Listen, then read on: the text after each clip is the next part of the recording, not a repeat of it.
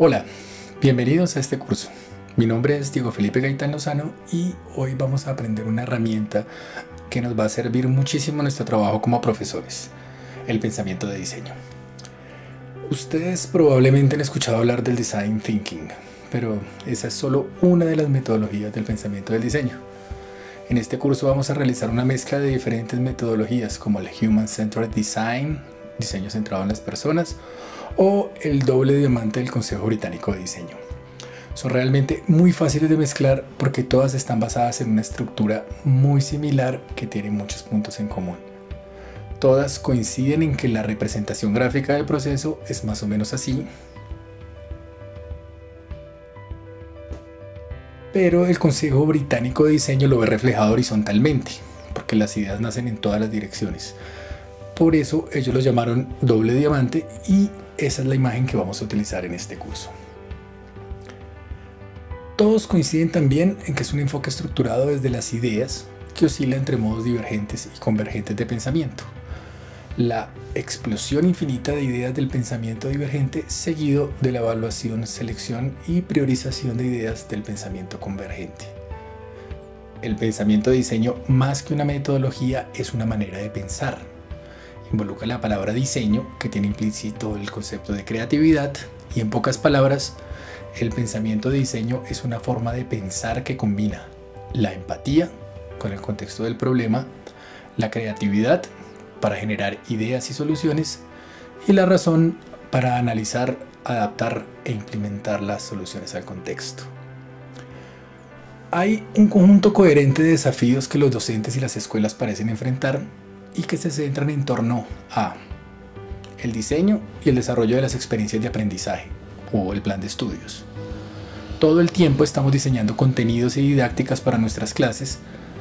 ¿Qué tal si ahora seguimos un proceso de diseño que involucre a los estudiantes y que por lo tanto conecte los contenidos con sus intereses reales, como por ejemplo las cosas que realizan fuera de la escuela, entre otras tantas? También puede girar en torno a los entornos de aprendizaje, o sea, los espacios. El ambiente físico del aula transmite una gran señal acerca de cómo deseamos que los estudiantes se comporten. Entonces, podemos cambiar el diseño de nuestros espacios para enviar un mensaje diferente a nuestros estudiantes. También pueden girar en torno a los programas y experiencias escolares, a procesos y herramientas la universidad ya ha diseñado un conjunto de procesos y herramientas que pueden o no funcionar correctamente. ¿Cuál de estos procesos se puede rediseñar entonces para hacerse más efectivo? Por ejemplo, en nuestro caso, en sede principal, el desplazamiento entre las diferentes sedes. Y por último, a las estrategias del sistema, objetivos y políticas. Sabemos que no todos podemos tomar parte siempre de las decisiones del sistema en el que estamos trabajando, del sistema en el que estamos inmersos. Pero cada uno de nosotros podría contribuir a su diseño. Podríamos convertirnos entonces en actores activos en la universidad, proponiendo ideas de cambio en diferentes niveles. El pensamiento de diseño es una mentalidad efectiva que nos da confianza en nuestras capacidades creativas para transformar difíciles desafíos en oportunidades de diseño. Está centrada en el ser humano al empezar desde la empatía profunda con el contexto del problema, es colaborativo, es optimista, porque parte de la premisa de que generar un cambio sí es posible, y es experimental, porque el proceso estará siempre en progreso y constante mejora. El proceso de diseño es un enfoque estructurado para la generación y la evolución de las ideas. Tiene cinco fases que nos ayudarán a conducir el desarrollo desde la identificación de un reto de diseño hasta la búsqueda y la construcción de una solución.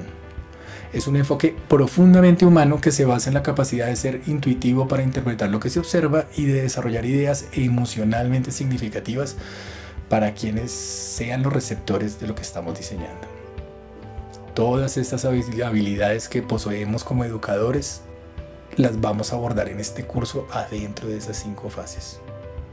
Pero antes debemos hacer un poco de preproducción y definir el desafío y un plan de proyecto. Para finalizar este video recordemos algunas cosas claves para este proceso. Primero, somos diseñadores. Seamos creativos y tengamos confianza en nuestras capacidades creativas. Segundo, aceptemos y adoptemos nuestra mente de principiantes. Enfoquemos los problemas como novatos, incluso si somos expertos en el tema, y mantengámonos dispuestos a experimentar y aprender. Tercero, salgamos de nuestra zona de confort y aprendizaje. Y por último, veamos siempre los problemas como nuevas oportunidades de diseño.